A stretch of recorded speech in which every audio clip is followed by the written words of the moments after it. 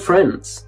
Lomography recently sent me another roll of their Fantôme Kino ISO 8 black and white film to continue my project of shooting slightly longer exposures of movement artists. If you haven't seen the first video that I did, I suggest checking it out as it's got a bit more information about my inspirations for starting this project and the challenges that I overcame the first time that I tried. It's probably on screen already. So this time I was in Tokyo and I contacted a bunch of friends in very different movement disciplines for a wider range of experiments to see what works and what doesn't.